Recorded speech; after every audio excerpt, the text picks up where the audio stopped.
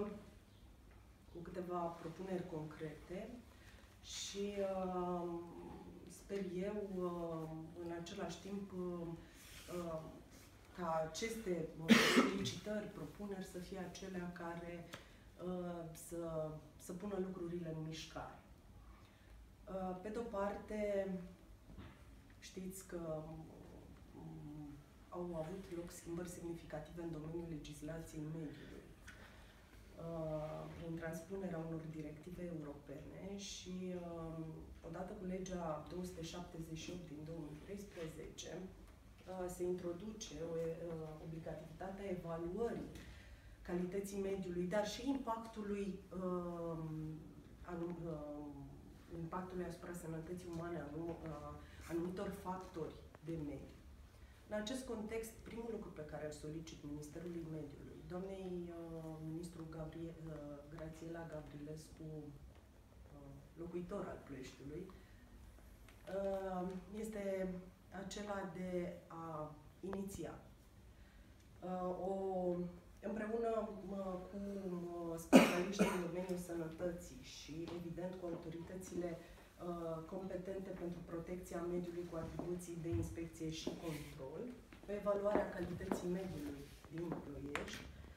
și în același timp o examinare a tuturor efectelor relevante asupra sănătății umane. Cred că este un punct necesar. Uh, poate că această evaluare ar fi trebuit deja să existe. Uh, dacă ea există, aștept tot conform aceleași legi, să facă publice rezultatele uh, acestei evaluări. Pe de o parte, legea o obligă să facă acest lucru, pe de altă parte, uh, are uh, de asemenea obligația ca aceste informații să le facă publice. În al doilea rând, am văzut uh, că în dezbaterea pe fondul de mediu, un subcapitol vizează alocarea de fonduri uh, pentru uh, achiziția de uh, instalații de laboratoare pentru evaluarea calității aerului, uh, fixe și mobile. Am văzut că deja a promis Bucureștiului uh, că va fi dotat cu astfel de instalații. Am vorbit deja cu primarul Adrian Dobre pe această temă, solicitându-i să uh, parcurgă uh, pașii necesari, în primul rând făcând o solicitare scrisă către Ministerul Mediului, astfel încât și Ploieștiul să beneficieze de astfel de laboratoare de evaluare a calității uh, aerului. Uh, primarul îmi spunea cel puțin unul, că atunci când uh, ai sesizări de la cetățeni uh, să poți să ai un astfel de laborator mobil pe care să-l trimiți în zona uh, de unde uh, vin informațiile și automat să ai o evaluare corectă. Mai mult decât atât Înțeleg că în interiorul um, acestui um, subcapitol de finanțare a achiziției există posibilitatea și pentru operatorii privați în a achiziționa um, aparate de automonitorizare. În acest context uh, am să scriu um, companiilor pe ca, care, mă rog, au apărut ca și uh, nume în, uh, în presă, uh, informându-i că pot să fac acest lucru, pentru că eu sunt convinsă că orice operator privat își dorește să scape de uh, suspiciunea uh, uh, că este uh, poluator, deci că afectează într-un fel sau altul uh, Uh, comunitatea în care el funcționează și atunci, uh, dacă poate uh, să aplice pentru a-și face această dotare,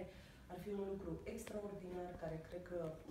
ar ajuta pe de-o parte Ploieștiul, dar pe de altă parte ar, ar, ar ajuta fiecare din acești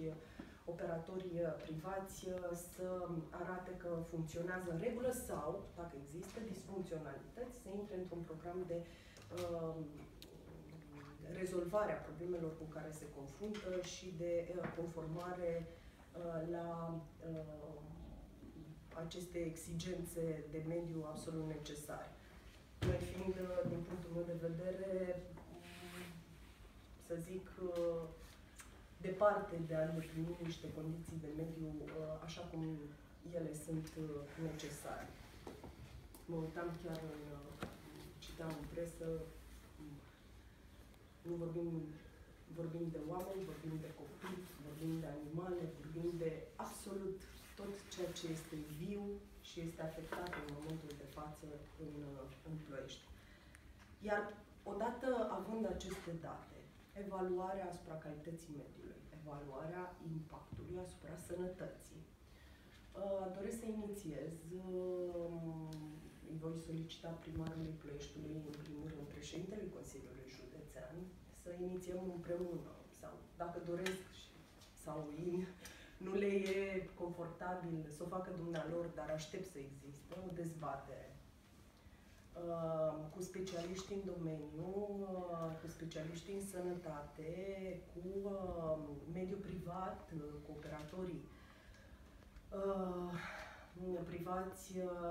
în care să discutăm concret despre soluțiile, pașii care sunt necesari,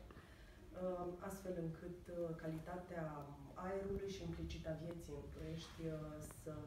să fie una îmbunătățită. Sigur, mi-aș dori din tot sufletul, dacă nu există, poate, nu știu, vreun alt cuib de barză care să-i ocupe timpul doamnei ministru, să participe și doamna ministru la această dezbatere uh, și uh, împreună să găsim cu toții uh, o soluție pentru ca noi, copiii noștri, să poată respira un uh, mai curat în Ploiești.